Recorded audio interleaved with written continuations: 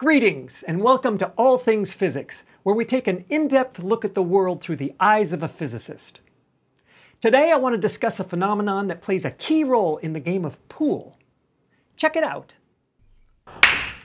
If you've ever played pool, you know that it's a game that involves a lot of physics.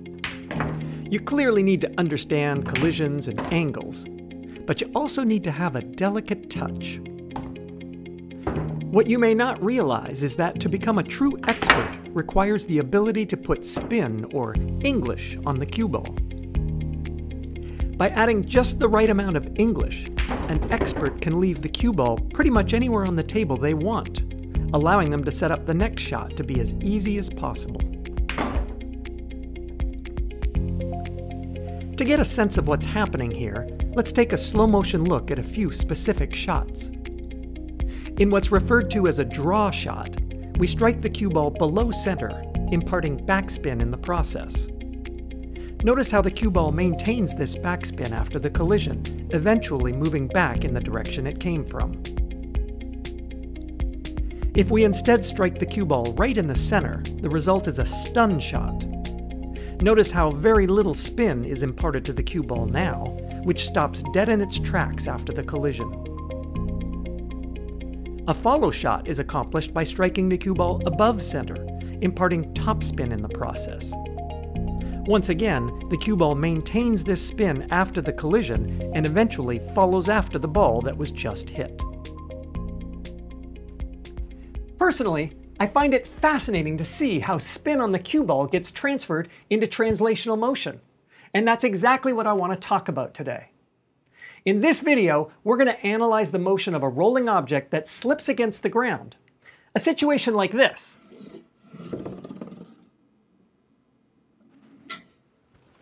To keep things simple, we'll consider a one-dimensional situation in which the object can only translate left or right, and can only rotate about an axis perpendicular to the screen.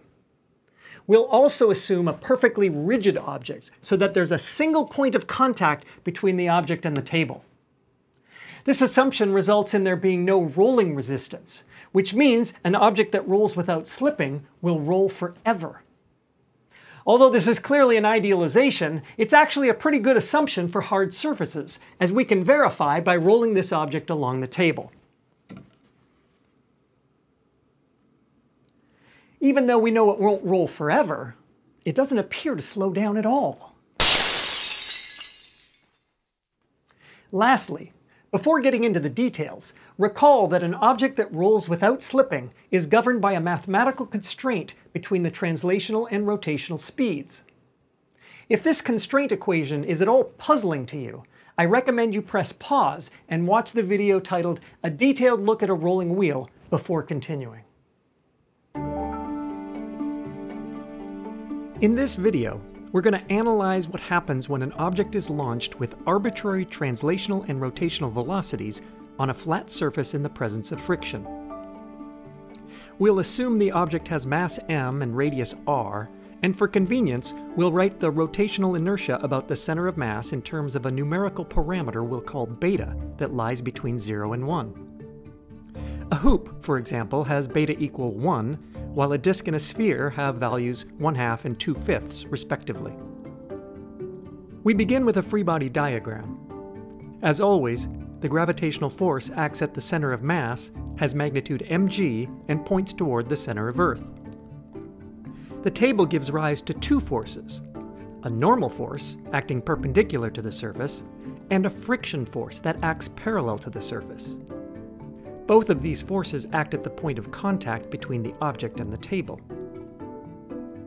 The direction of the friction force turns out to be a little tricky to determine in general, as it depends on both the translational and rotational velocities.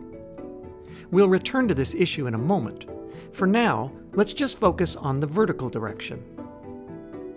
If we take the x-axis pointing right and the y-axis pointing down, then the z-axis points into the screen, Using this coordinate system, the gravitational force points in the positive y direction, while the normal force points in the negative y direction.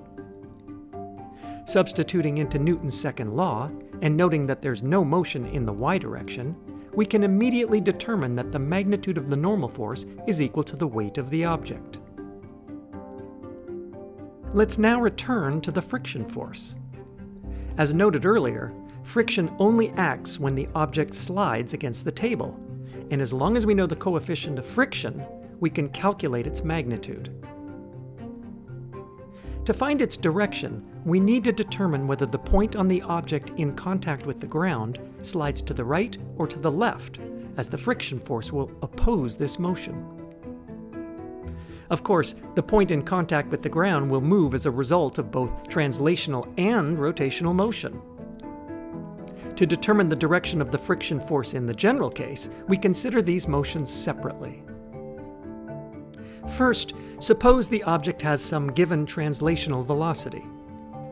In this case, every point on the object, including the point at the bottom, will have the same velocity. Thus, the velocity of the point that's in contact with the ground is simply equal to the translational velocity of the object. Similarly, suppose the object rotates about the z-axis with a given angular velocity. In this case, each point on the object will circle around the center of the object with a speed that's proportional to its distance from the center. But notice that a negative rotational velocity causes the bottom of the object to move in the positive x direction, while a positive rotational velocity causes it to move in the negative x direction. This observation allows us to determine an expression for the velocity of the point at the bottom of the object due solely to rotational motion. Combining these velocities gives the velocity of the point at the bottom of the object when undergoing both translational and rotational motion. Now, our goal is to determine the friction force, which opposes the direction of motion. To get this direction, we divide the velocity by its magnitude which in one dimension can be written with the help of the signum or sign, SIGN function. The sign function simply returns the sign of its argument, plus 1 if the argument is positive, minus 1 if the argument is negative, and 0 if the argument happens to be 0. Finally, now that we know the direction of motion, we can write down an expression for the friction force. Substituting this force into Newton's second law, we arrive at an equation that appears to depend on the translational and rotational velocities. But remember that the sign function is either positive 1, negative 1, or 0. Therefore, as long as the object slides against the ground, there are only two possibilities to consider.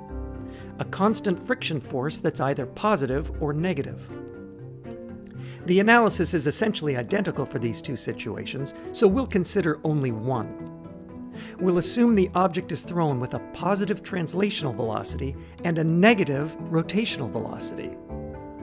This is the situation for an object thrown with backspin. In this case, the velocity of the point at the bottom of the object is positive, resulting in a negative friction force and a constant negative acceleration.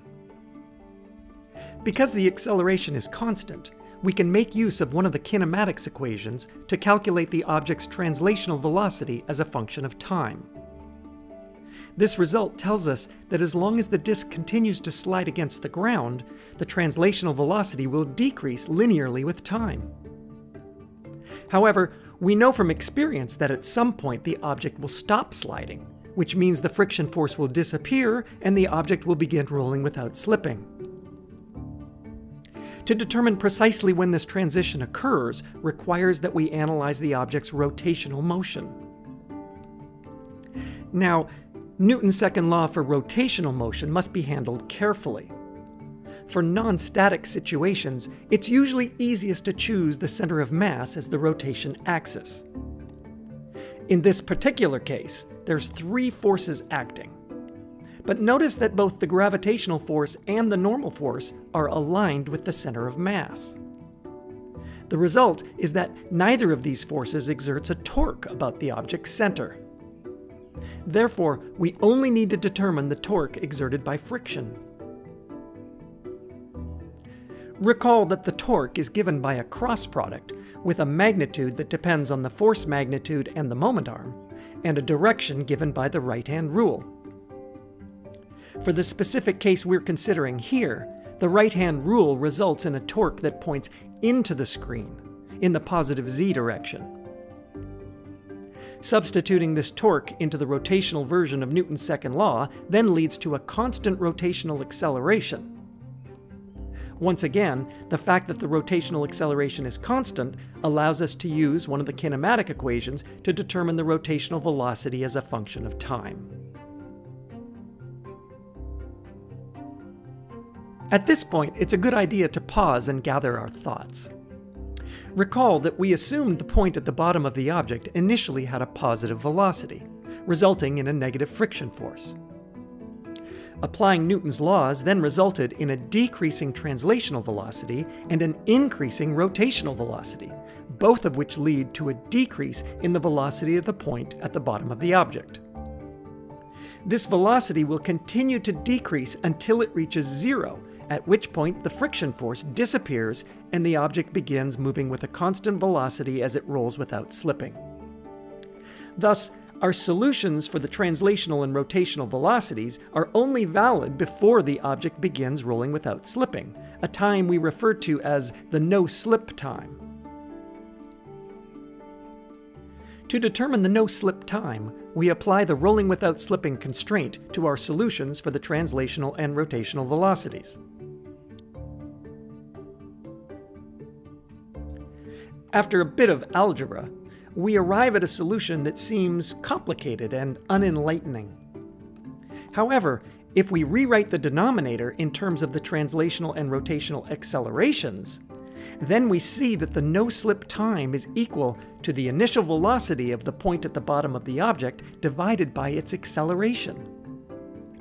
This ratio is exactly what one would expect for the time it takes an object to reach zero velocity when the acceleration is constant. Substituting the no-slip time back into our expressions for the translational and rotational velocities, we can then determine the motion of the object once it begins rolling without slipping. Interestingly, notice that the final velocity does not depend on the coefficient of friction. In other words, the same initial conditions lead to the same final velocity regardless of whether the object is sliding on a wooden table or on ice. This surprising result is a consequence of the fact that although the friction force, and therefore the acceleration, is proportional to the coefficient of friction, the no-slip time turns out to be inversely proportional to the friction coefficient. Therefore, a larger friction force is offset by acting for a proportionally smaller time. At this point, you might be wondering how all this relates to reality. So let's look at a side-by-side -side comparison of an actual sliding wheel and the solution we just found. As you can see here, the simulated motion compares remarkably well to the real world. Now that we have the solution, the last thing I'd like to discuss is the situation where the object's final velocity is zero. To find the answer, all we have to do is set the final velocity equal to zero the expression we end up with provides a constraint between the initial translational and rotational velocities. An object thrown with initial conditions that satisfy this constraint will slide to a perfect standstill. Before finishing this video, let's see if we can apply what we've learned to the real world by throwing this disk so that it slides to a stop. We can use the initial condition constraint equation we just derived to determine the relationship between the translational and rotational velocities for a disk if we substitute in the value beta equals 1 half. Unfortunately, this doesn't really help us because there's no simple way to accurately adjust the velocities when you're throwing it by hand. It really just comes down to trial and error and perhaps a little luck. Let's see how we do. By the way, this is a fun challenge, so I encourage you to try it at home. But fair warning, it's harder than it looks.